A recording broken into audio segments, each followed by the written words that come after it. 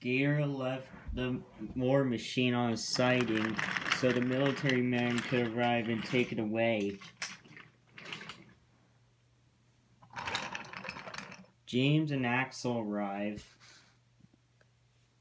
Neither of them didn't notice that a tumbleweed was rolling by them.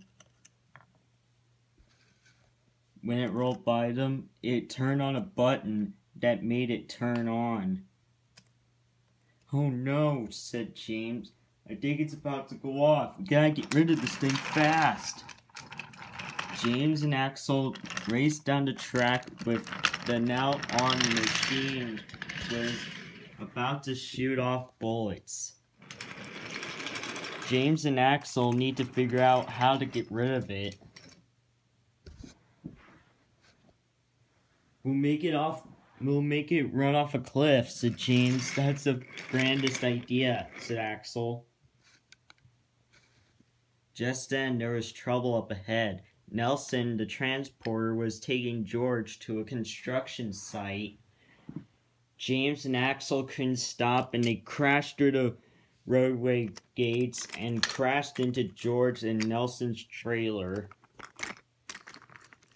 The flatbed that was carrying the war machine went off the rails and ran down over the track and ran off a cliff. Phew, said James.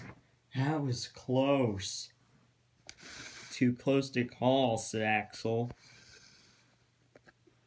Hey, what's going on? said Nelson. What was that for? Oh, sorry, Nelson. Um, War Machine was about to go off, but me and Axel destroyed it. Probably it blew to smithereens by now. With that, James and Axel puffed away while Nelson waited for help to get himself to get his trailer back on the road as well as George.